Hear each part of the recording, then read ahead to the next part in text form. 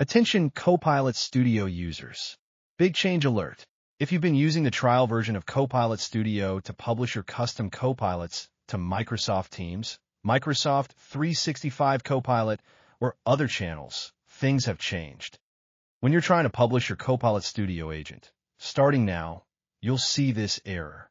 You currently do not have a user license that allows you to publish in Copilot Studio. Please contact your administrator to upgrade your license or enable the necessary permissions. What does this mean?